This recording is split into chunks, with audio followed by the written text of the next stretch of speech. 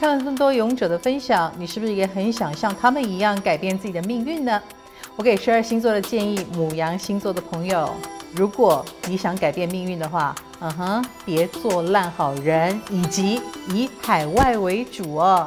好啦，别做烂好人，是因为你已经到了一定的位子了，很多人喜欢把你当大哥大姐，需要你的照顾，而你刚好也很鸡婆，而你也的确觉得那种照顾别人的英雄感挺好的。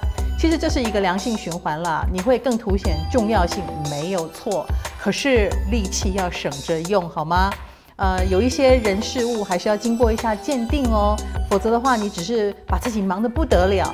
要不要花点力气？比如说组织起来，呃，是有计划性的。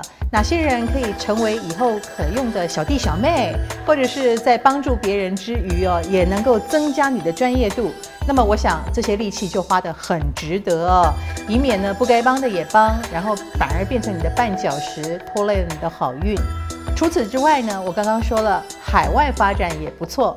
所谓的海外发展，大家也不要把它想得太狭隘了，不一定要真的出国。有时候，如果你从事的是跟文化或者是贸易等等有关，也是跟海外有关哦。或者是你有计划出书吗？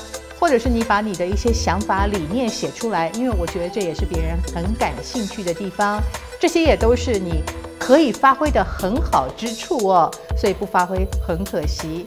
那么如果要说你有什么不好的地方，那么就是要注意可能会有水土不服的情况，或者是呃舟车劳顿的太劳累了，所以出国要特别注意安全，以及不要挑战自己的极限。